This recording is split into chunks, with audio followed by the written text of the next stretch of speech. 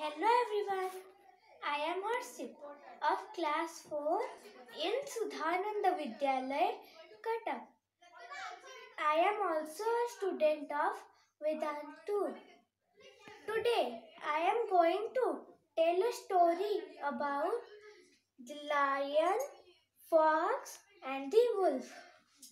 Once King Lion fell ill. All the animals came to see him and wished him to get well soon. But the fox did not come.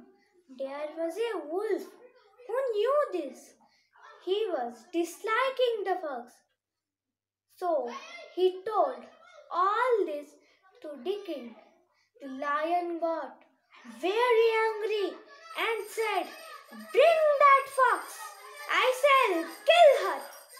The fox was very clever. She thought of a plan and said, Mighty king, I could not come because I was visiting doctors for your health. But I found the best cure for you is kill this wolf and wear his skin. The lion killed the wolf at once. Moral Don't wish ill of others. Thank you.